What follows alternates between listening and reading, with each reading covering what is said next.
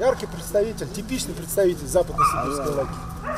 Мансур Ахмадеев из Казани приехал на выставку со своим четвероногим другом Азаром. Собаке породы западно-сибирской лайки в ноябре исполнится два года. Хозяин его купил еще совсем щенком, и за эти годы они успешно участвовали во многих выставках и испытаниях.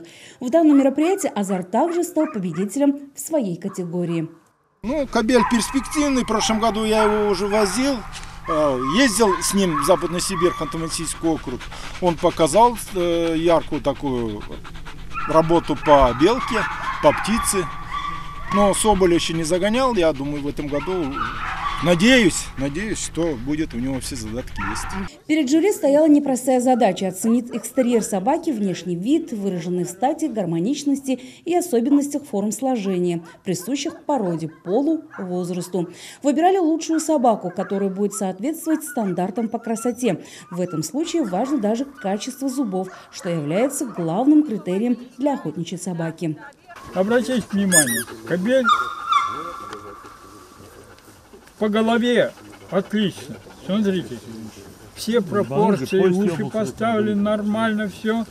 Все у него отлично. Выставку организовали в честь памяти эксперта второй категории по породам и испытаниям Сергея Ипкеева. Именно он был основоположником таких мероприятий в Мамадышском районе.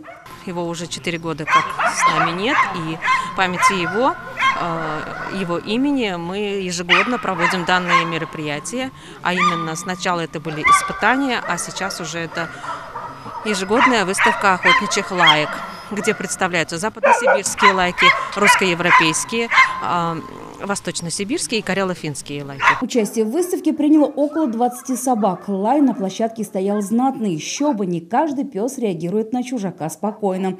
Хозяева, стараясь их успокоить, разговаривали со своими питомцами. Для кого-то участие просто азарт, а для кого-то это целый бизнес. Животные, получившие награды и титулы, претендуют попасть в перечень племенных производителей, дающих максимально перспективное потомство. Щенки словных родителей продаются намного дороже. Ланч Бабанязова, Тимур Мухаммедханов, Фаиль Шехудинов. Новости Татарстана.